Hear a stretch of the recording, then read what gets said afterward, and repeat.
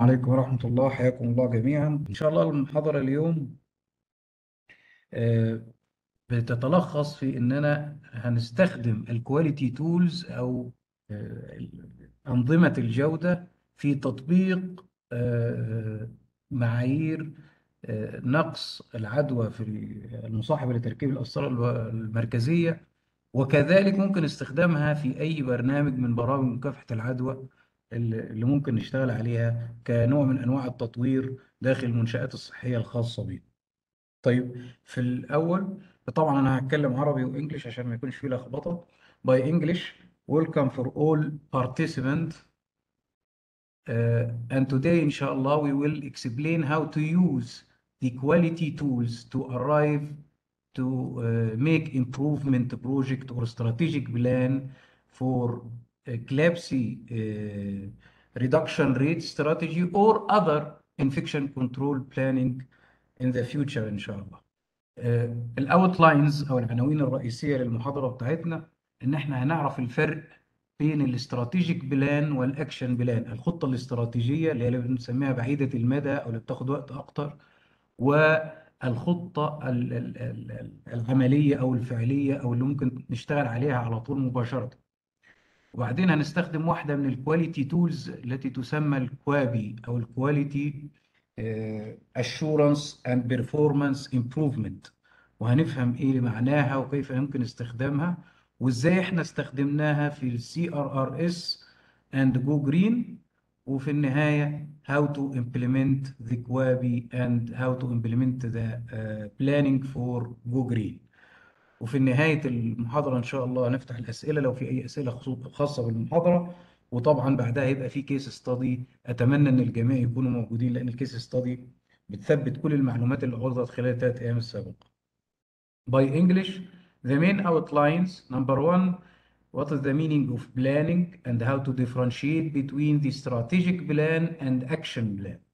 Number two, I will use one of the quality tool named Quabi or Quality Assurance and Performance Improvement and how to use this one in uh, CRRS and Go Green and how to implement this strategic plan. ما هي الخطة؟ ما هي الخطة؟ وعشان أعمل خطة إيه النقاط الهامة اللي لازم أتعرف عليها؟ آه، طبعا عشان أنا أعمل خطة لازم يكون عندي نقطة مهمة جدا لازم أتعرف عليها وهي حاجة اسمها ال performance management cycle أو دورة إدارة الأداء أو دورة الأداء الوظيفي بيسموها كده. هنفهمها دلوقتي بالتفصيل وهي بتشرح في في المجمل علاقة العاملين على الخطة والقائد بتاعهم أو القيادة اللي بتقود العمل على الخطة. إزاي تكون العلاقة بينهم علاقة تصل في النهاية إلى نتائج جيدة بشكل كبير وبعدين هنتكلم عن ال infection control plan سواء كانت على المستوى ال plan اللي بنعمله في المستشفيات عندنا أو في المراكز عندنا أو ال plan اللي بتعملها مثلا زي إدارة مكافحة العدوى على مستوى عالي على مستوى المملكة أو plan international وما إلى ذلك. في النقطة الأخيرة الفرق بين ال strategic plan والاكشن بلان أو التكتيك بلان. Uh, firstly, to can understand what is the meaning of plan you must understand what is the performance management cycle. The performance management cycle explain the relation between the leadership and team which, uh, which act to uh, implement the plan. Then we will explain the infection control planning and how to differentiate between strategic and action plan. Uh, next, performance management cycle أو دورة الأداء اللي اتفقنا عليها هي عبارة عن شكل من أشكال إدارة العلاقة زي ما قلت لكم من شوية ما بين الفريق العامل والقائد اللي اللي بيقودهم. طبعا دايما الزملاء في الجودة يحبوا كلمة القائد ما يحبوش كلمة المدير.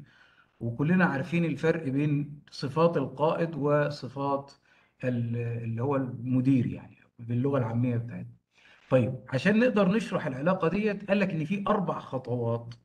الأربع خطوات دول هم اللي بيخلوا العلاقة علاقة ناجحة بيوصلوك إلى النجاح كفريق عمل. النقاط دي أو الخطوات ديت رقم واحد التخطيط الجيد. وهنفهم إزاي نعمل تخطيط جيد. وبعدين هنفهم أنواع الخطط. بس الأول إزاي نعمل خطة جيدة. خلاص؟ وبعدين البرفورمنج أو الأداء تطوير الأداء. وبعدين كيف يمكننا متابعة الأداء وتقييمه. وفي النهاية أنت عملت خطة وطورت الأداء وتابعت تطويرك لهذا الأداء ولقيت إن في إنجاز يبقى لازم تكافئ العاملين على هذا الإنجاز والمكافأة طبعا لها أنواع مختلفة. يبقى بص كده تفكير منطقي جدا. الموضوع مش محتاج إن إحنا نكون حافظين أو الموضوع بسيط جدا. أنا عايز أتعامل مع فريق عمل عشان أصل إلى النجاح. محتاج إن أنا اولا أخطط بشكل جيد وهنفهم كيف يمكننا التخطيط بشكل جيد ومن ثم تطوير أدائنا ومراجعة هذا الأداء إذا كان فعلا بيتطور على الأرض أو لأ وفي النهاية إذا كان في تطوير وتطبيق صحيح للخطة من قبل الفريق لابد أن يكون هناك مكافأة لهذا الفريق على عمل. By English, the performance management cycle is a model allow the relation between or management between the uh, leadership and employee and this relation must be depend on four main steps to can success. Number one, planning. How to make a plan. We will explain after some time. Then, performing. How to improve your performance. And review, monitoring, and evaluation your planning. Then, if you the team is already improved, you must be rewarding employee about the good performance. This is the relation between the manager or leadership and employee. Next, the planning. شوف عشان تعمل خطة صحيحة في شوية نقاط لازم تكون موجودة في الخطة في أي خطة وطبعا أنا هبدأ أطبق الكلام على ال CRRS يعني هبدأ بعد كده أقول بقى ال plan وإزاي ال CRRS منطبق عليها هذه النقاط اللي المفروض تكون موجودة في أي خطة. أي خطة لازم تكون محددة ما تبقاش عامة. يعني ما ينفعش أقول أنا هعمل خطة لتطوير مكافحة العدوى. إيه في مكافحة العدوى اللي أنت عايز تتغوره؟ مكافحة العدوى كلها ده يعتبر قول عام. لكن أنا لازم أكون مشخص الخطة اللي أنا عايز أعملها. لازم تكون سبيسيفيك زي بالظبط الحالة اللي عندنا. إحنا بنعمل خطة عشان نقلل العدوى المصاحبة لتركيب المسطرة القسطرة المركزية ونصل إلى معدل كذا. يبقى دي specific طيب نصل إلى معدل كذا تجيلنا على النقطة رقم اثنين إنها measurable معنى كده إن الخطة بتاعتي اللي أنا هعملها يمكن قياسها. يبقى اذا لما تيجي تشتغل على خطة لابد أن يكون هذه الخطة يمكن قياسها. طيب ال reduction of central line associated bloodstream infection measurable ولا لا؟ آه طبعا ده measurable ولسه من شوية. الدكتوره تبيش بارك الله فيها كانت بتشرح لنا إزاي إزاي ال surveillance وقبلها في المحاضرات الأمس وأول أمس كان في محاضرات تشرح لك المعادلات اللي بتحسب بيها ال rate وال case definition اذا ده ممكن تقاس. آه ممكن تقاس. يبقى الخطة ديت حتى الآن صحيحة. achievable قابلة للتحقيق مش خيالية. آه لا ده قابلة للتحقيق. ده أنا بعرف النقاط الضعف وأبدأ أشتغل عليها وبيحصل فعلا reduction خلاص؟ وخطة حقيقية واقعية على الأرض بتجيب نتائج زي ما اتفقنا وبتعمل توفير في الوقت والنفقات. time bound and برضه cost يمكن ال cost مش مكتوبة هنا في ال slide ولكن مهم جدا إن time and cost لازم تكون الخطة بتهدف إلى توفير الوقت وتوفير. طب هتقولي خطة ال reduction of central line bloodstream infection بتوفر الوقت إزاي؟ وقت بقاء المريض داخل المستشفى. وقطعا لما أنت بتقلل العدوى بتقلل المصروفات اللي ممكن تصرف على المريض زائد المصروفات اللي ممكن يتكلفها المريض في حالة لا قدر الله إن هو يكون توفى. يبقى اذا أي خطة بتحتاج ان تكون هذه الخطه محدده لهدف محدد يمكن قياس قابل للتحقيق حقيقي وواقعي يساعد على حفظ الوقت والتكاليف. By English, any planning must be smart. What is the meaning of smart? Number one, specific plan. For example, collapse reduction rate strategy. This is specific for decrease the rate of central line associated bloodstream infection. Measurable can be measured. The central line rate can be measured by specific calculation and uh, case definition for the central line associated bloodstream infection. So the planning is good. Achievable. The plan can be arrived to the aim, can be decrease the rate and uh, time and cost uh, reserve.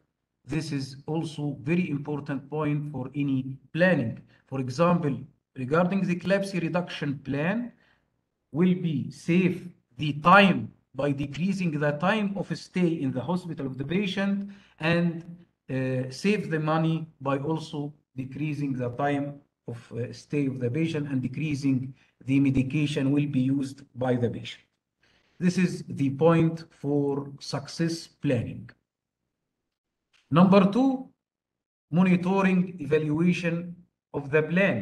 You must be يعني usually monitor the plan. يعني by Arabic لو أنا هشرح ال monitoring أو المتابعة والتقييم في القصة بتاعتنا في ال CLABSI reduction أول حاجة أنا كنت ببقى عارف ال rate اللي موجود عندي إيه. يعني أنا افترض إحنا في المملكة دلوقتي 2 و2 من 10 في لكل 1000 حالة آه لكل 1000 يوم تنويم آسف.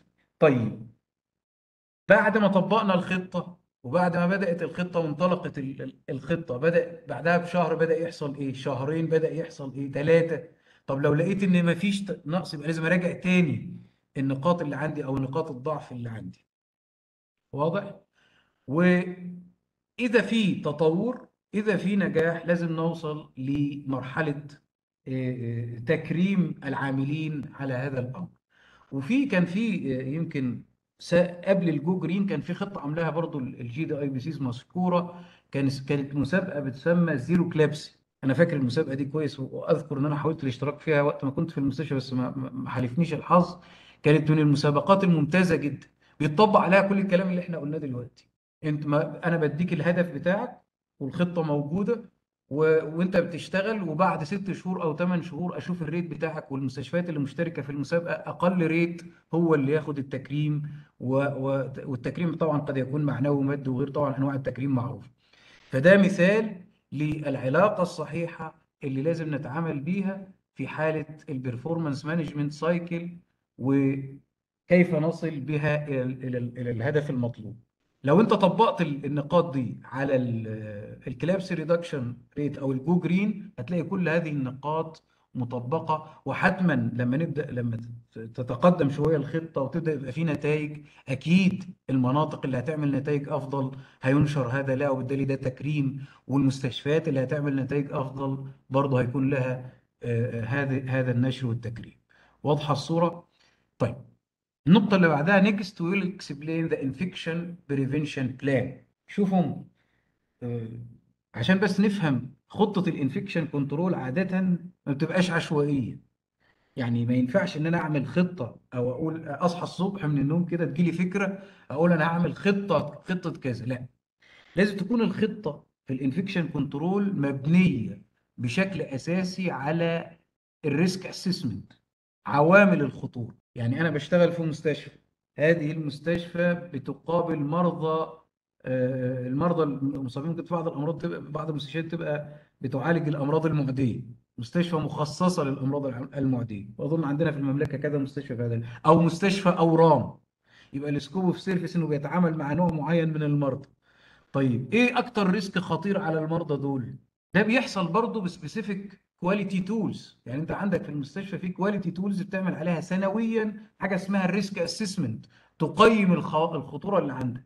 وأعلى risk أو أعلى خطر هو اللي بتعمل الخطة بتاعتك على أساسه locally لكن لو طبقنا ده لو أنا بطبق ده بقى ودي تعتبر في الوقت ده يعتبر action plan يعني أسميها action plan لكن لو أنا جاي بتكلم عن الخطة الاستراتيجية بتاع نقص أو خفض عدوى مجرى الدم المصاحبة للمرك... للقسطرة المركزية دي تعتبر strategic plan مين اللي قيم الوضع؟ اللي قيم الوضع ال GDIPCs إن هي جمعت عملت collection لل data بتاعت ال surveillance ال rate اللي موجود وقارنته بال rate العالمي ولقت إن في زيادة وإن إحنا محتاجين نقلل هذا الموضوع ونصل إلى ال rate العالمي أو أقل منه.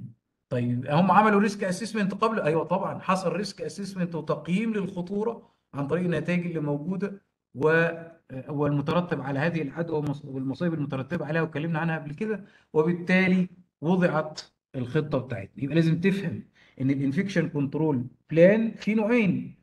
ممكن يكون plan على مستوى ال setting أو ال healthcare setting اللي أنت شغال فيها ودي مطلوبة منك سنويا أو نصف سنويا على حسب الوضع. وده بيقيم على حسب الخدمة اللي أنت بتقدمها والمخاطر المترتبة على الخدمة اللي أنت بتقدمها داخل المستشفى أو المركز الصحي اللي عندك. أما على مستوى أكبر اللي هي الخطة الاستراتيجية بيقيمها ال high authority الناس اللي زي ال GDIPCs وبناء على التقييم بيشوفوا إيه الحاجة وبعدين يبدأوا يضعوا خطة لإنقاص. ومثالنا المشهور لهذا الموضوع هو الخطة بتاعه ال CLABSI rate ريدكشن واضح؟ طيب. English the infection control plan uh, not uh, haphazard plan but it is a plan depend on the risk assessment and I have two type of infection control plan Number one, plan at the level of the healthcare, your healthcare setting. Infection control plan uh, uh, at the level of the infection control team in the healthcare setting. According your scope of service in your hospital and risk assessment and take the highest risk and make a plan for uh, repair or improvement of this risk. Okay? And the other type of plan, of infection control plan, is a strategic plan, like the central line uh, or CLABSI rate reduction strategy. It is a strategic plan. Number one, assess by GDIBCs the rate of infection of central line in the kingdom, then make a plan for reduction, and this plan is go green. Okay? Like this is uh, uh, a simple table explain the difference between strategic infection control plan and action plan. الجدول ده بيفرق ما بين الخطط الاستراتيجية وخطط العمل اللي أنا شرحتها لكم من شوية. لو لو أنتوا فهمتوا الشرح بتاعي هتعرفوا تطبقوا كل نقطة. الخطط الاستراتيجية لا يمكن يكون مدتها سنة.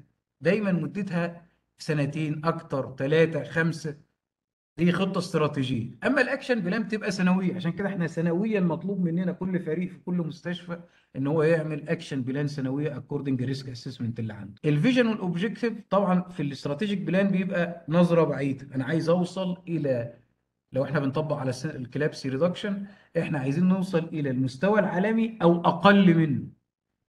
عايزين نصل إلى المستوى العالمي أو أقل منه. وطبعا أنا بالنسبة لي متأكد إن تطبيق معايير مكافحة العدوى في ال central line هيوصلنا للأقل منه. والدليل على كده المسابقة اللي شرحتها لكم من شوية برضو اللي كانت عاملاها ال GDIPCs مشهورة واللي كانت تتكلم عن ال zero CLABSI. أنت ممكن تصل في بعض الشهور إلى zero CLABSI جوه المستشفى عندك. آه لو أنت مطبق الكلام بشكل صحيح. طيب. لكن ال action plan عادة بتبقى short term لأنها محدودة. في مكان محدود في خدمة محدودة فيكون دايما مدتها قليلة جدا.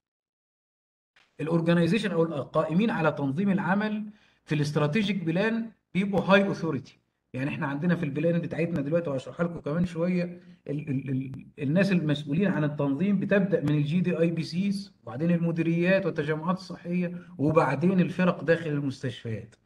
لكن في ال action plan الفريق بتاع المستشفى وما يحتاجه من مساعدين على حسب الخطة.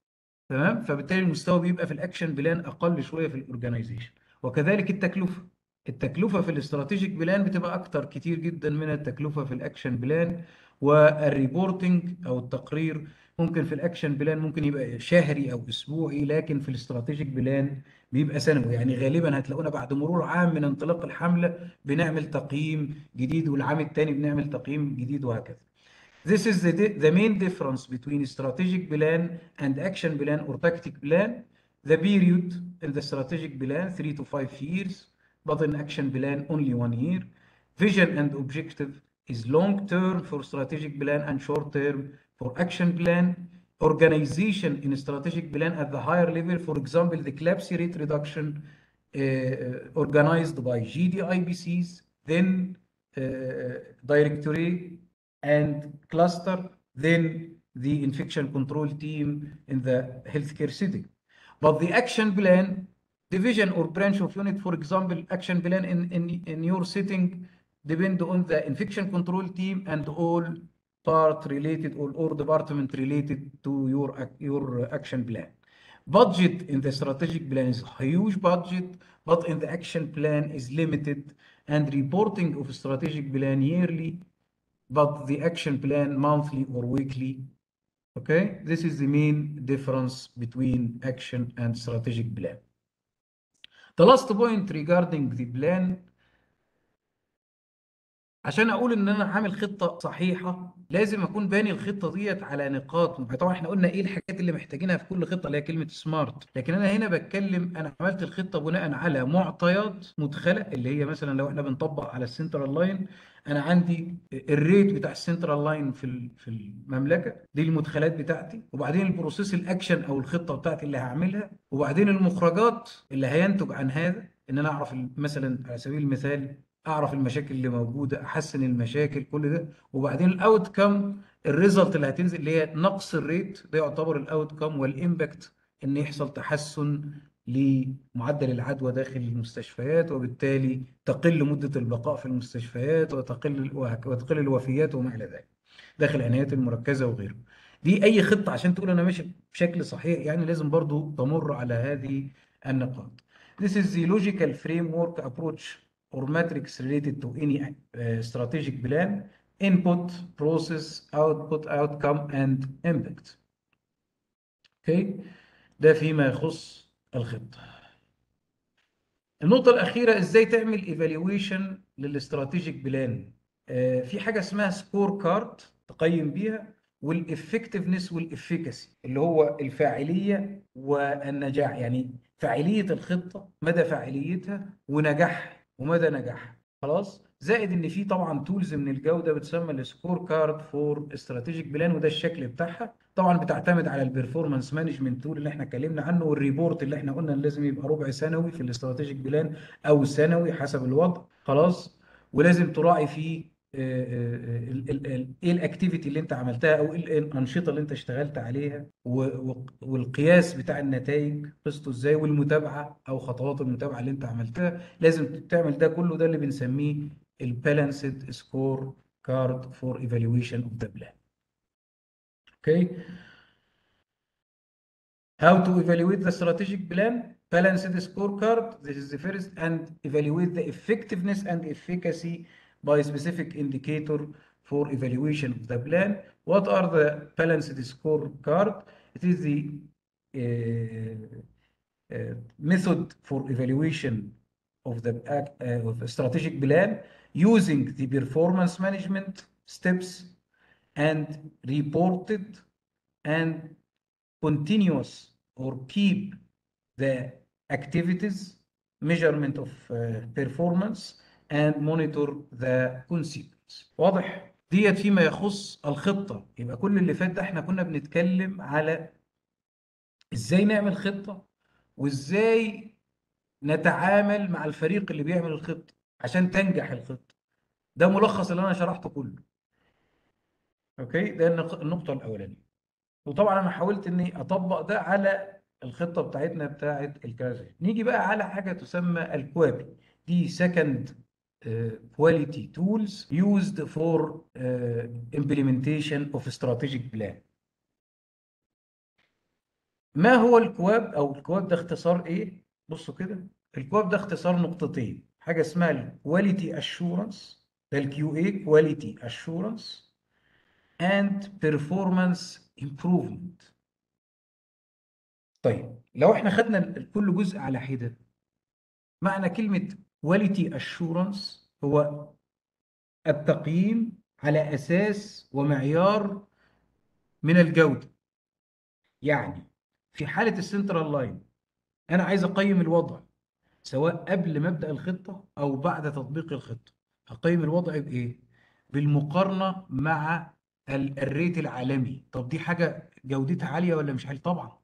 ده شيء جودته عالية جدا. يبقى ده quality assurance وبعدين لما قارنت لقيت إن أنا عندي ال rate أعلى شوية فبدأت أعمل خطة أداء وتطوير. ده الجزء الثاني من الموضوع اللي هو ال performance improvement اللي برضو اتكلمنا عنه من شوية اللي هي الخطة. يبقى أنت عشان تبني خطة لازم الأول تعمل quality assurance وبعدين performance improvement ديت ده مختصر موضوع ال QAPI. وده اللي إحنا عملناه فعلا في ال CLABSI reduction rate The QAPI is two part. quality assurance and performance improvement quality assurance and performance improvement uh, quality assurance mean I will assess my uh, my position or my uh, situation according the international uh, quality method. For example, the central line, I will compare my rate in the kingdom with the international rate. Okay? Then make a plan. This plan is performance improvement. And I will also, after uh, implementation of the plan, I will return to the quality assurance to show I have go to improvement or not. اوكي دي فكرة الكوابي طيب ودي مقارنة بين الكواليتي اشورنس وال performance improvement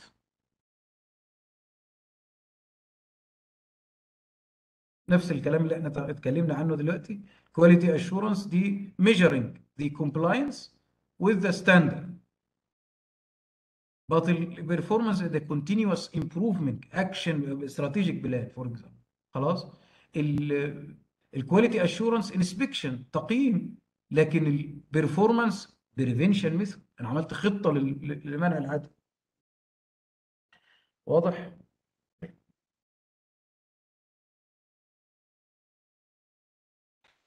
النقطة الأخيرة في المحاضرة بتاعتنا إن إحنا نتكلم عن الاستراتيجية نفسها وبنيت على إيه؟ ال CLABSI rate reduction strategy وبنيت على إيه؟ وسبقني برضو واظن الدكتوره نرمين على ما أذكر اتكلمت عن الموضوع ولكن أنا بس هتكلم عن بعض الحاجات اللي لها علاقة بالجودة ونقطة معينة مهمة جدا وهو لما جينا نعمل fish bone analysis أو root cause analysis للأسباب الضعف اللي عندنا واللي محتاجين إن إحنا نشتغل عليها في خطة التطوير. طيب. The vision decrease the collapse in all MOH and none also and non-MOH hospital uh, ICU, ICU and other department for collapse. Mission implement the evidence-based international guideline to reduce the current national collapse rate. الرؤية اللي عندي في هذه الخطة ان اقلل معدل ال CLABSI في كل مستشفيات المملكه مش بس الام أو كل مستشفيات المملكه طيب ال mission عشان أطبقها المهمة نفسها عشان أطبقها الرؤية دي عشان أطبقها لازم أعتمد على evidence based international reduction action of infection control implementation اللي هم طبعا ال CLABSI bundle ال insertion bundle وال maintenance bundle الهدف زي ما قلنا إن إحنا نوصل من الوضع اللي إحنا فيه ال current national CLABSI rate اللي هو 2.5 per 1000 central days to reach 0.9 or 0 وأنا بقول لكم أهوت على ضمانتي لو اشتغلتوا صح في هذا الموضوع ناس منكم هتوصل لل zero هتوصل لأقل من zero أو من 0.9 هتوصل لأقل من كده. خلاص؟ طيب.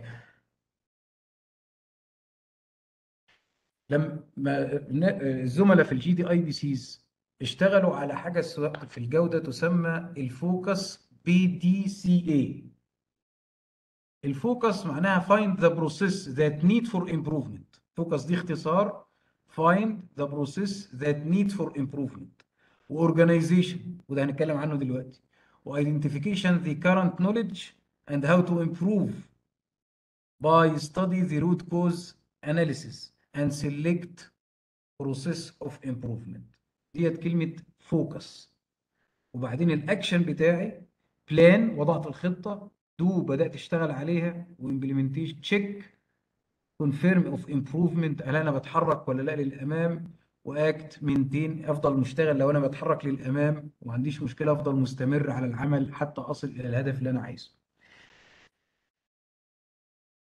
استخدمنا ال fish bone analysis for study the causes of increase the CLABSI rate. أنا عايزكم تبصوا على يمكن دي واحدة من أهم الشرائح اللي موجودة في المحاضرة. يعني أنت لو طلعت من المحاضرة دي بالفرق بين ال action plan وال strategic plan وإيه هدف الخطة بتاعت ال Go Green وبصيت على ال fish bone دي وفهمتها كويس أعتقد هنكون استفدنا جدا جدا من المحاضرة دي. لما ال GDIPC عملت fish bone analysis for study the causes of increase the rate of CLABSI in Saudi Arabia. لقوا هذه النقاط الأساسية. في نقاط متعلقة بالبرنامج والأشخاص أو ال staff العاملين وال process وال procedure عملية التركيب وال maintenance والسياسات وال supply دي النقاط الأساسية اللي كانوا بتدور حواليها أسباب زيادة ال rate عن ال international rate تحت كل عنوان رئيسي في بعض الأسباب. يعني في ال program في lack of education and training. وطبعا لو أنتم شايفين ال ال الهدف كان في في هذا البرنامج إن إحنا نقضي على هذا ال lack of education and training.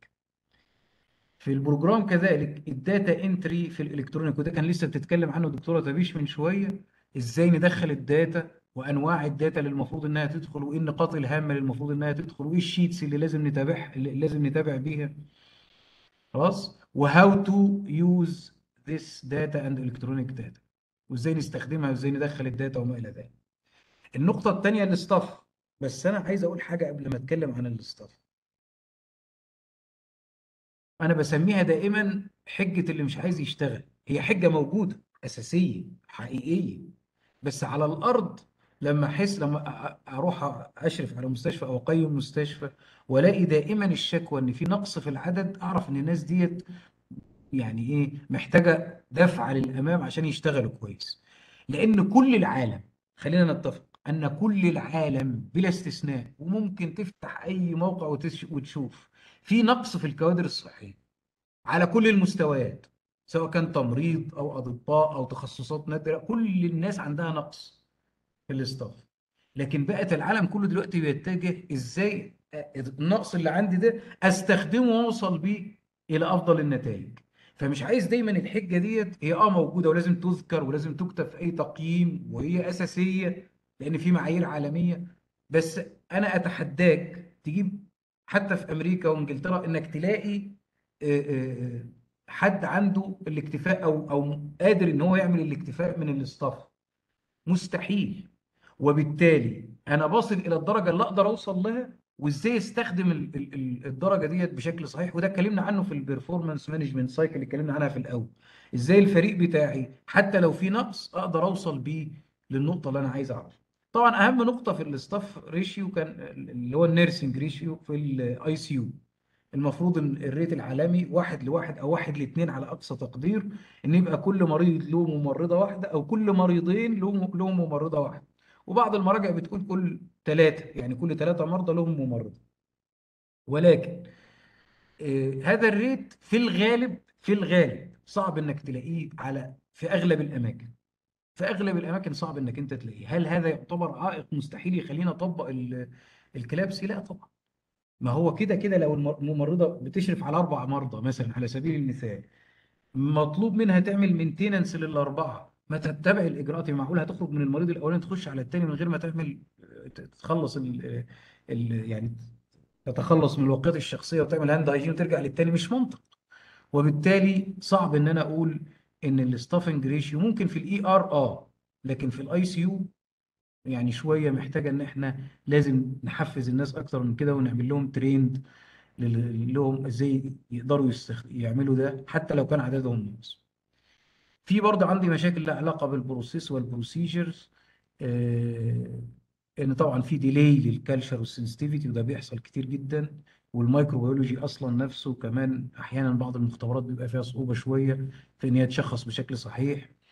ولأن إحنا اتفقنا إن الميكروب نفسه ممكن يديني دلالات عن ال weak point اللي عندي في ال policy وال procedures ال update طبعا لازم يبقى في updating دايما وإحنا اتكلمنا حتى في في ال bundles إن في بعض النقاط ممكن تضاف في ال bundle زي ال ultrasound في ال insertion ultrasound guided في ال insertion وال scrubbing of hub في ال maintenance. لازم دايما نبقى متابعين الحاجات الجديدة دي من النقاط المهمة. ال supply برضو نقطة من النقاط اللي يمكن معلش هي آخر نقطة أنا هتكلم فيها بس معلش ادوني فيها دقيقتين لأن ال supply دي بالذات من برضو الحجج اللي هي عاملة زي ال staff كده. بس خلونا ندرسها بشكل دقيق شوية. انت ك infection control ليك دعوة بال supply إلى حد كبير آه.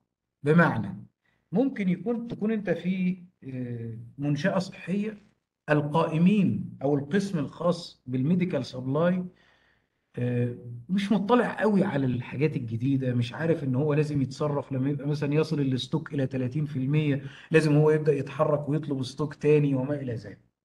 انت دورك ك infection control انك تتناقش مع الناس دي وتعمل لهم training و education خصوصا لما يبقى عندك برنامج مهم زي ده. ولازم تفهمهم أهمية ده. طيب النقطة الثانية إن لازم يبقى عندك flexibility في موضوع ال supply لازم تبقى flexible في موضوع ال supply بمعنى أنا قلت لكم مثال مهم لما كنا بنشرح المحاضرة في اليوم الأول في ال skin preparation يا دكتور عبد الرحمن أنا ما عنديش كلورهكسيدين فهمنع تركيب ال central line جوه المستشفى. هل هذا منطق؟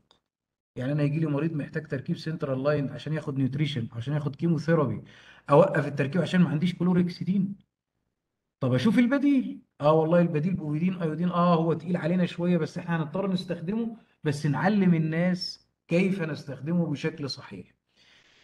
ونبلغ القائمين على ال medical supply إن لابد الفترة اللي جاية يبقى في طريقة لتوفير مثل هذه ال- ال- الحاجات. برضو الواقيات الشخصية.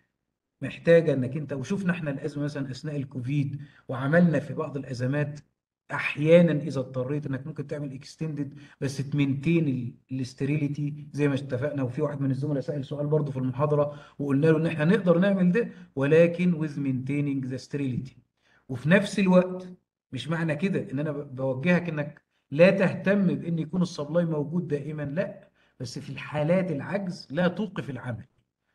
تعمل العمل وتشرف عليه بنفسك. حتى لو اضطريت إنك في الفترة اللي فيها عجز في في بعض تكون أنت موجود ك infection preventionist تشرف على أداء ال insertion وأداء ال maintenance حتى عشان الناس تتعود عليه إلى أن تتوفر بعض هذه ال supply طبعا لو جينا نطبق آه، هذا الموضوع على ال CLABSI نشوف ال- ال- النقاط اللي عملتها ال GDIPCs وهي بتنفذ الخطة. أول حاجة عملنا ال leadership على المستوى بتاع الجي دي أي بي سيز ام أو اتش وبعدين على مستوى ال regional وال hospital زي ما قلت لكم ك strategic plan لازم يبقوا الثلاثه مشتركين معايا في ال leadership وبعدين شفنا ال infrastructure وال supply اللي هي النقاط اللي إحنا اتكلمنا عنها في ال fishbone analysis أنا كده خلصت.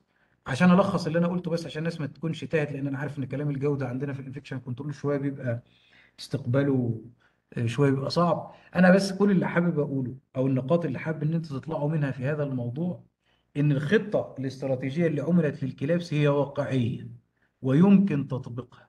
وفي بعض المنشآت الصحية العالمية وصلت إلى نتائج مبهرة في نقص والوصول إلى أقل من المعدل العالمي في الكلاب سيريت دي النقطة الأولانية. النقطة الثانية إنك بتستخدم بعض آلات الجودة وأنت ممكن تشترك مع قسم الجودة في كده.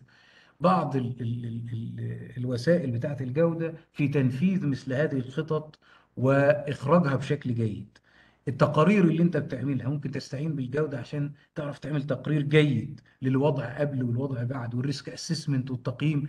كل دي حاجات تقدر إنك أنت تستفيد منها من الجودة.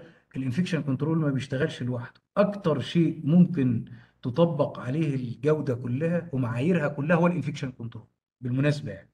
يعني أنت لو لاحظت كل حاجة بيتكلم عنها الجودة مهما كانت شوية بعيدة عن تفكيرنا هتلاقيها يمكن تطبيقها بشكل مثالي في ال infection control. لأن كل حاجة في ال infection control لها evidence based مفيش آراء شخصية كتير قوي في ال infection control. وإنما كل شيء مدروس وتمت دراسته وطلعت عنه نتائج وهكذا. واضح؟ أشكركم جزيل الشكر.